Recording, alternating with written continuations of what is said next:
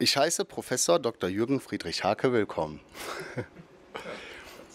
genau, willkommen in der HBRS. Schön, dass Sie gekommen sind. Am 8.4. hat die ähm, Initiative Fridays for Future ihren äh, Forderungskatalog vorgestellt. Und eine der Forderungen hat, äh, lautet, dass bis zum Jahresende jedes vierte Kohlekraftwerk geschlossen werden soll.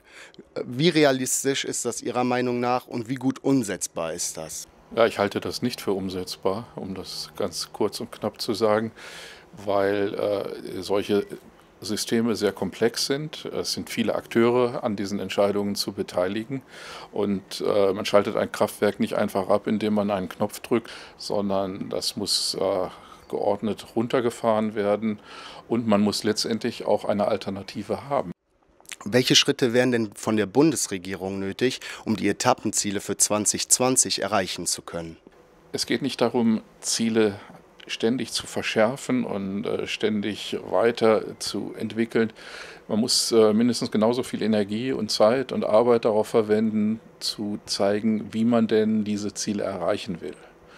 Und da hapert es, weil diese Ziele auch natürlich äh, von einzelnen Akteuren enorme Anstrengungen bedeuten. Also wenn Sie aus der Kohle aussteigen, wird das in der Branche mit dem Verlust von Arbeitsplätzen einhergehen. So, und Sie müssen ja Leuten dann auch da Alternativen bieten. Sie können ja nicht einfach sagen, ab morgen geht ihr alle nach Hause. In welchem äh, Sektor sehen Sie denn die größten Schwierigkeiten und äh, die größten Abweichungen vom geplanten Ziel 2020? Also ich denke, äh, wir sind, äh, was den Umwandlungssektor angeht, die Stromerzeugung, sind wir relativ weit vorangekommen. Wir haben Windkraft, Photovoltaik und äh, all das da ausgebaut, äh, sodass wir sagen können, wir haben im Vergleich zu vor zehn Jahren eine deutliche Zunahme bei erneuerbaren Energien erreicht. Das reicht aber eben nicht. Die Energiewende ist nicht eine reine Stromwende, sondern wir müssen auch die Wärmeerzeugung betrachten und wir müssen den Verkehrssektor angehen.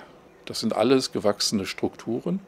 Und wenn wir die verändern wollen, äh, dann ist das eben nicht nur wieder eine Frage des Geldes, sondern auch eine Frage äh, der Infrastrukturen, die ich neu schaffen muss. Und das sind alles Umstellungen, die erfordern, so bedauerlich das für den einen oder anderen klingen mag, die erfordern Zeit. Eben nicht nur Geld, und das ist auch nicht eine Frage, je mehr Geld, desto schneller, sondern es geht darum, dass man diese Anpassungsprozesse eben einfach gestalten muss.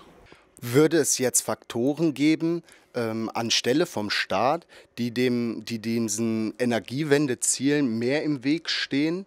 Na, erstmal muss man sehen, dass es ja nicht alleine um den Staat geht, sondern es gibt bestimmte Dinge, die auf Bundesebene geregelt werden müssen. Es gibt aber auch länderspezifische Aspekte und es gibt lokale städtische Aspekte. Und nur wenn das Hand in Hand geht, dann wird äh, so eine Energiewende technisch-ökonomisch gelingen. Ökologisch dann auch in der Zukunft. Wie schätzen Sie denn die Speichermöglichkeiten bei dezentralen Systemen ein? Das ist einfach letztendlich auch wieder eine Frage, wer die Speichermöglichkeiten bezahlt. Wir wissen, wie man lokal Energie speichert wissen im Prinzip, wie wir Batterien betreiben. Sie wissen das in ihrer ganzen Consumer Electronics. Sie wissen was bei ihrem Laptop. Äh, sie haben Akkus äh, in allen Ausprägungen. Sie haben die nur nicht in dem super großen Maßstab, dass sie sagen können, wir haben einen Stromspeicher für eine Großstadt und das ist es. So, aber wir wissen, dass man Strom äh, umwandeln kann in äh, Wasserstoff zum Beispiel, um ein Beispiel zu nennen. Und auch da ist es mehr die Frage, Technisch wissen wir das, aber Wasserstoffspeicher haben eben auch naturbedingte Nachteile. Kommen wir äh, zur letzten und zur auch sehr interessanten Frage. Welche Möglichkeiten zur Energieeinsparung nutzen Sie denn persönlich? Ich achte sehr auf den äh, Energieverbrauch, also Strom- und Gasverbrauch meines Hauses. Ich führe persönliche Aufzeichnungen. Ich kann Ihnen also so einen zeitlichen Verlauf jede Woche kann ich Ihnen zeigen. Ich fahre selber viel Fahrrad, ich thematisiere das auch im Freundes- und Bekanntenkreis. Professor Hake, ich bedanke mich ganz herzlich bei Ihnen für das Interview und wir sehen uns gleich in der Ringvorlesung. Ja. Ja. vielen, vielen Dank.